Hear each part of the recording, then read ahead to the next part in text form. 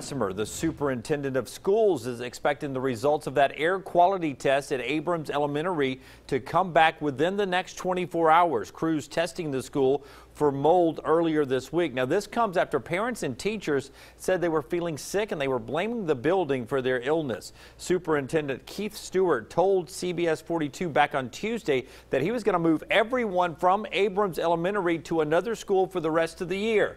Well, today, he's flipped the script. He says that will not happen, at least for now, citing logistical issues.